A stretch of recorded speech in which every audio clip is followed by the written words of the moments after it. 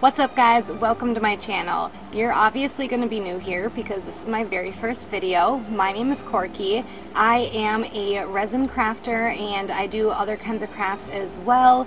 Um, I have been making videos for quite some time on a different platform that is a little less censored than this one but I would like to be able to share my crafting videos with my friends and family and that platform isn't exactly a platform that I know most of them would go to, so that's why I'm doing YouTube now. And on this channel, I would like to kind of incorporate um, different stories into my crafting journey. So I'm basically going to be going over like true crime and conspiracy theories, um, the dark side of history, all that kinds of fun stuff. So without further ado, let's get into today's video.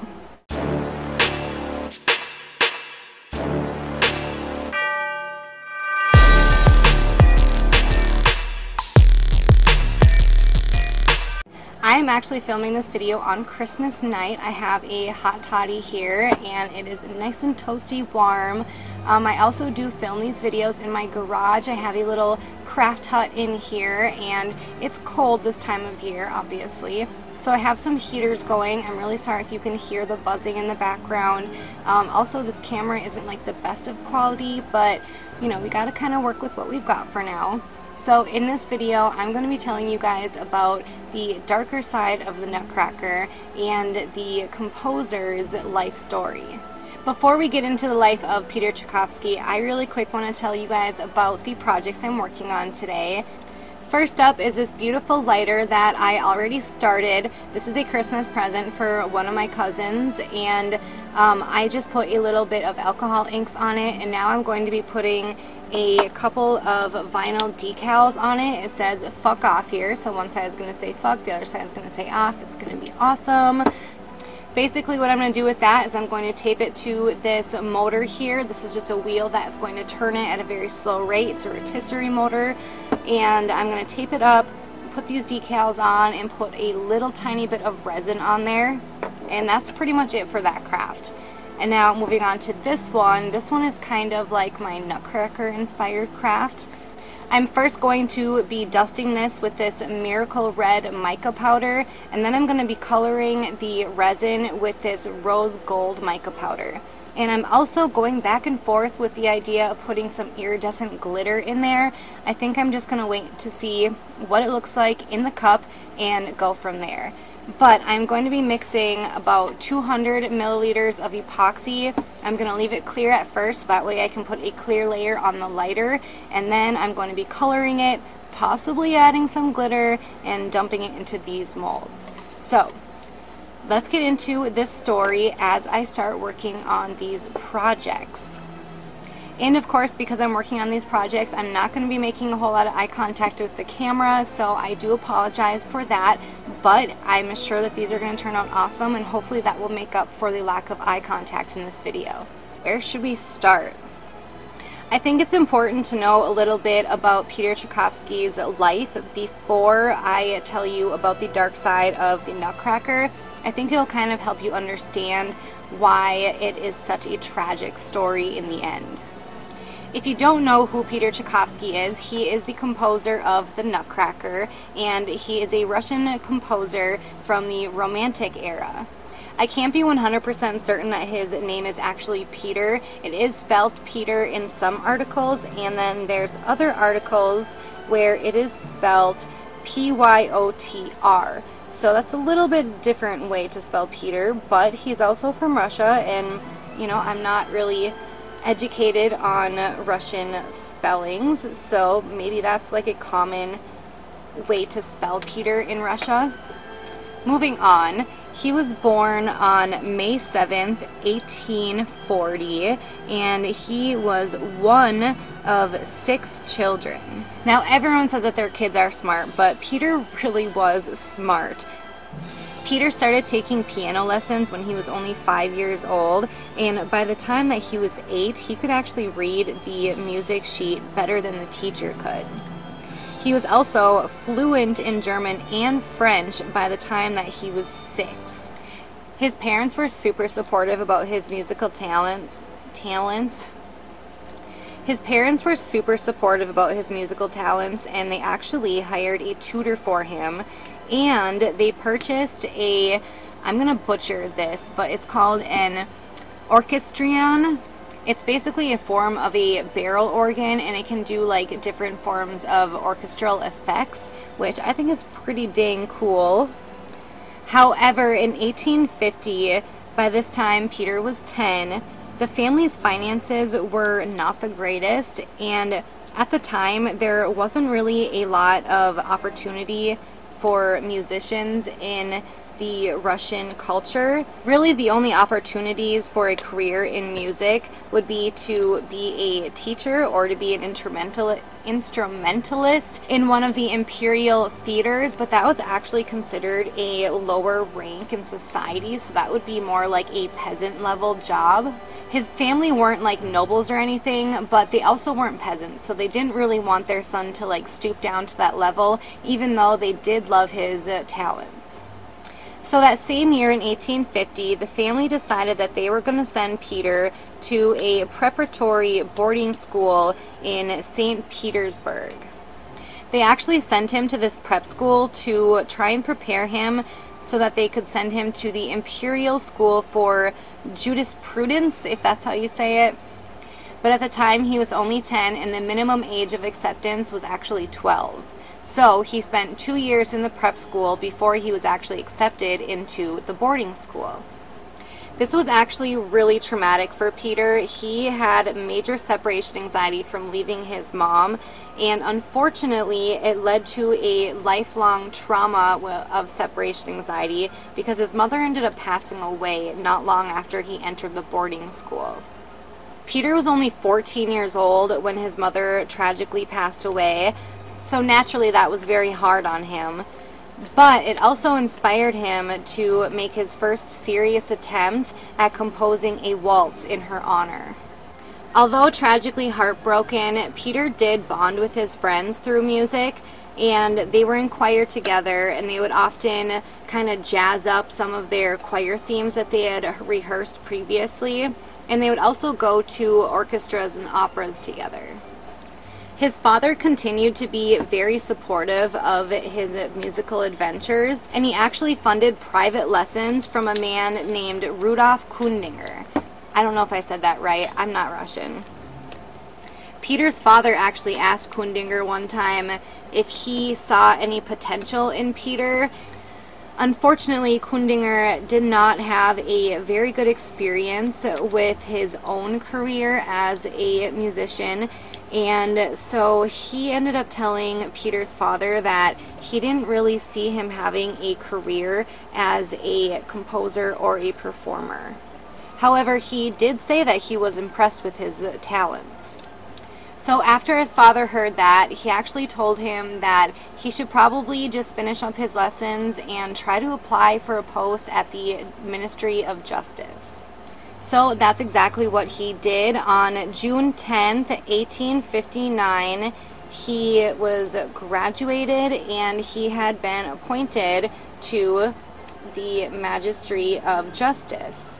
And within only eight months, he had actually risen to the position of senior assistant. So, like, he was doing pretty dang good in that spot. And he stayed in that position for the next three years. In the same year of 1859, the Russian Musical Society was founded, the RMS. And Peter actually decided to attend some of these classes. He attended some classes about the music theory. And these classes were taught by Nikola Zaremba. And these classes were also a predecessor to the St. Petersburg Conservatory. So the St. Peter's Conservatory opened in 1862. As soon as Peter could, he enrolled in the St. Petersburg Conservatory's premier classes. He studied harmony and counterpoint with that same teacher, Zaremba, and then he also studied instrumentation and composition with Rubinstein.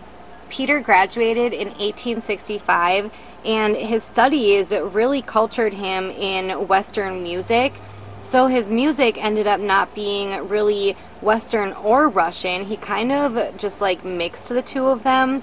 And at first, it created a very deep seated self conscious thought pattern, which was obviously very unhealthy.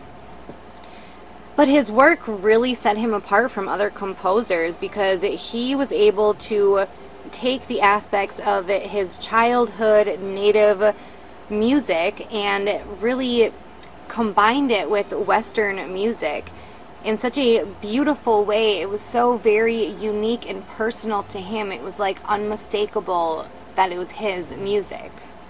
He wasn't always appreciated by his teachers. However, uh, Rubinstein's younger brother, Nikolai Rubinstein, he really appreciated Peter's work and he actually offered him a position as a professor of music theory at the soon to be Moscow Conservatory. However, his salary wasn't going to be very much, and this was kind of like what his parents were trying to avoid to begin with.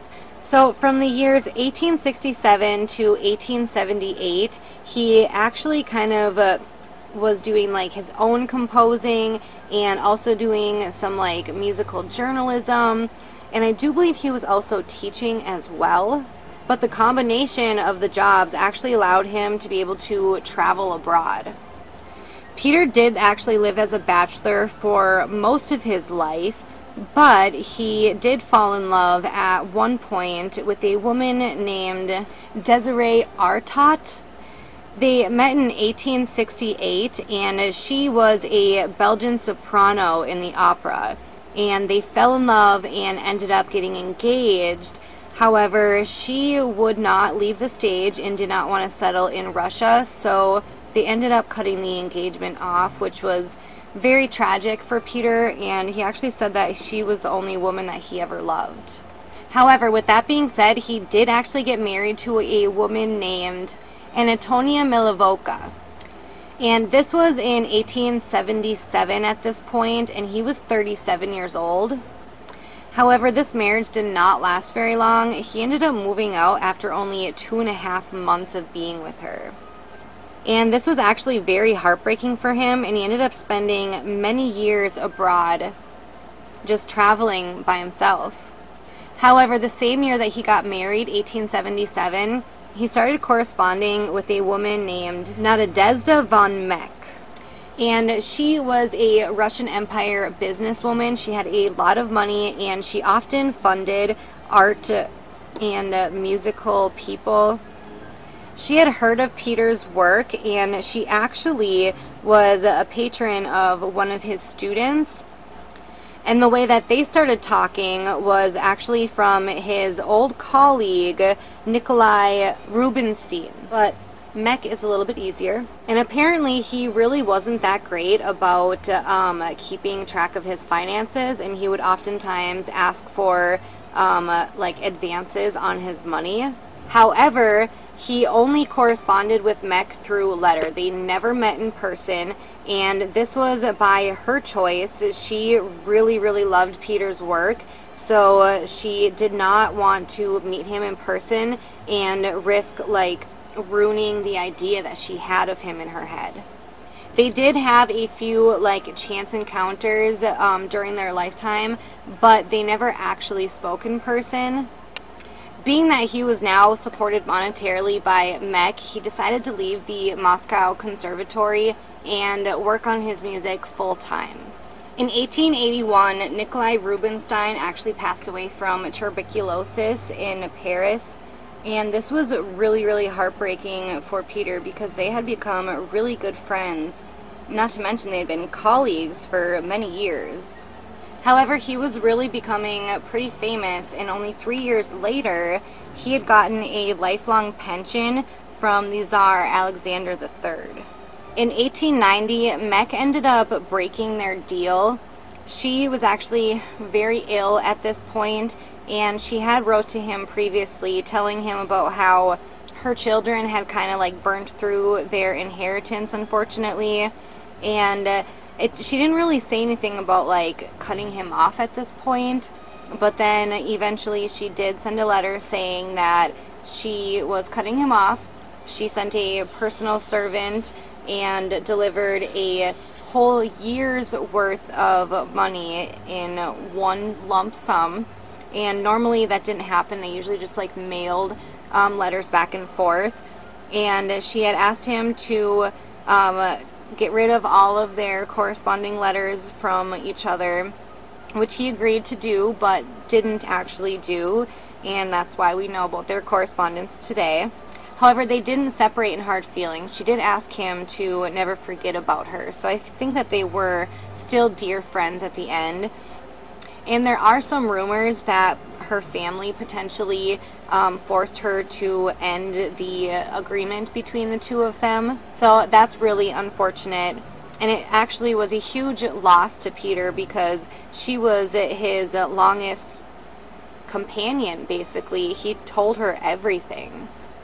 But Meck obviously knew talent when she saw it because Peter ended up becoming the first Russian composer to be known for his music internationally.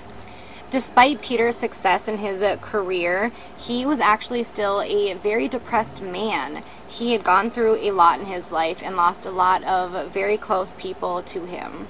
And that kind of brings us to the point in his life when he started to write the Nutcracker.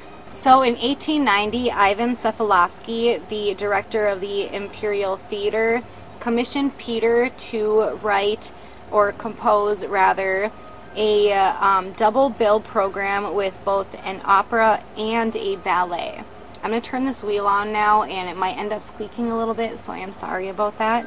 So this ballet was going to be an adaptation of Hoffmann's Nutcracker and the Mouse King.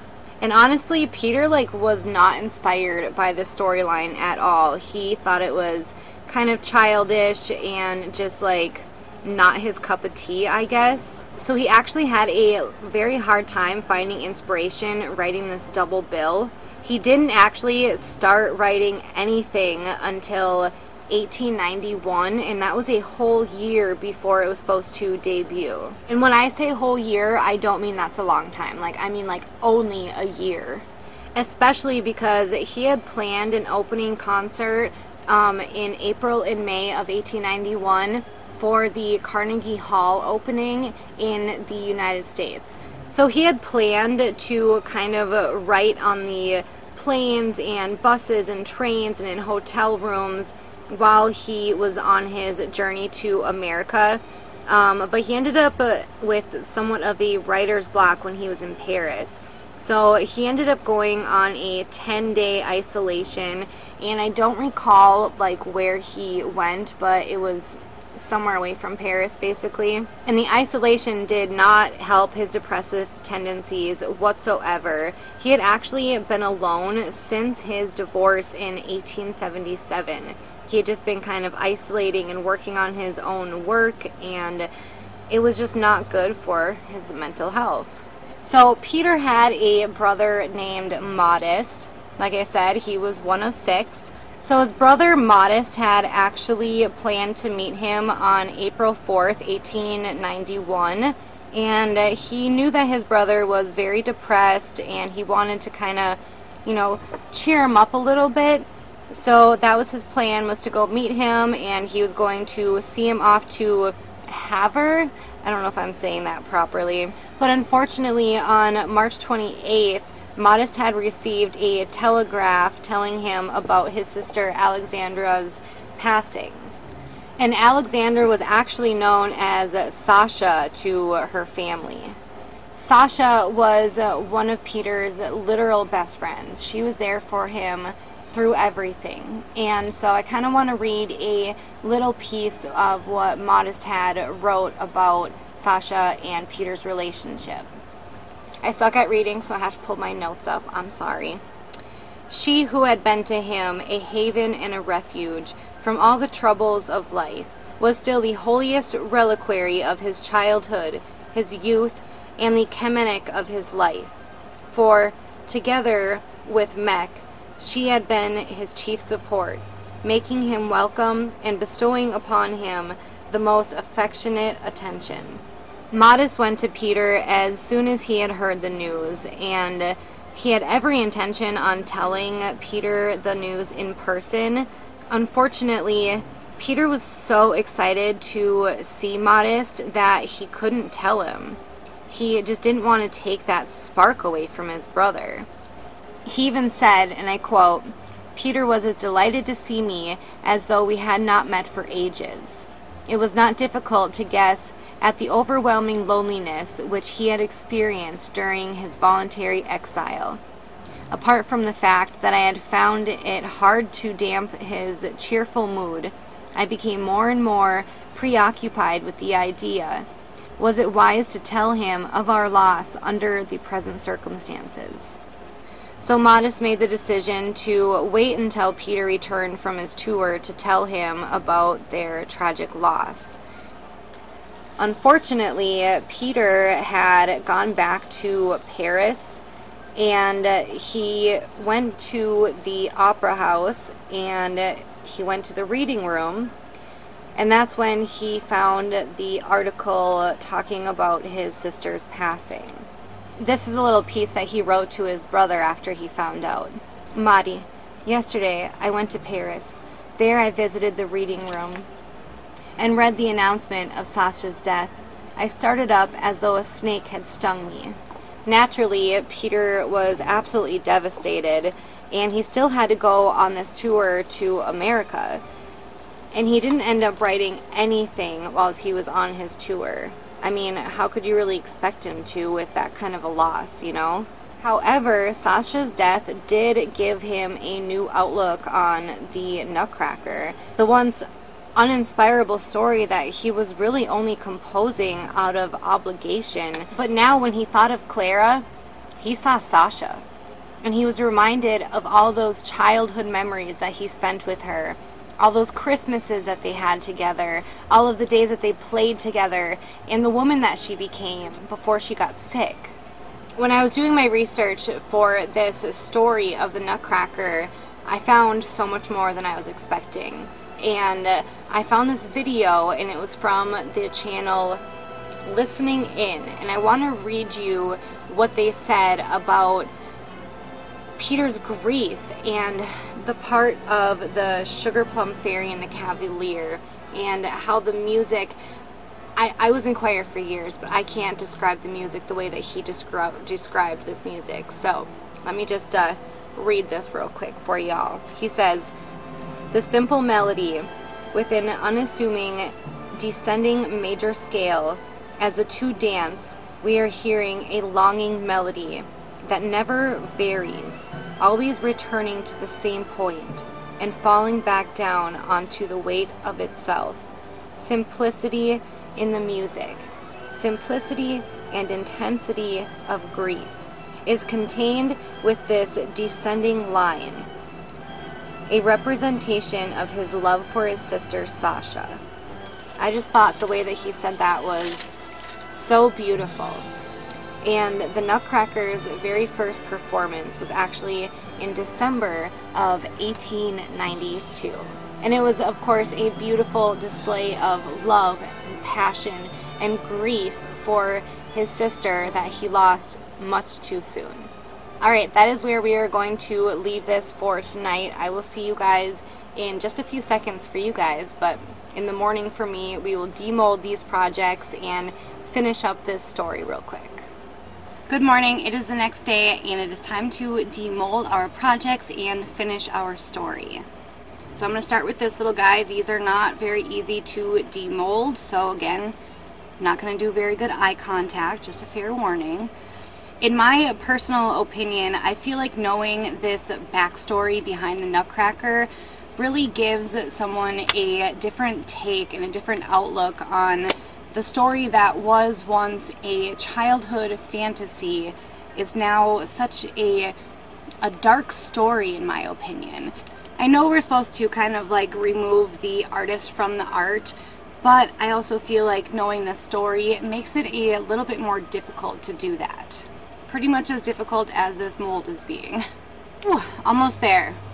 So not long after Shavatsky, or Peter as we were calling him, finished the Nutcracker, he wrote what was probably one of his dark pieces yet. Which isn't exactly surprising considering the traumas he had endured in his recent past. Only nine days after the first performance of his last piece, Shervatsky actually ended up passing away. This was on November 6th, 1893. And they said that the cause of death was um, cholera, which actually was what his mother had passed away from as well. But some people actually speculate that he died from a self-inflicted suicide.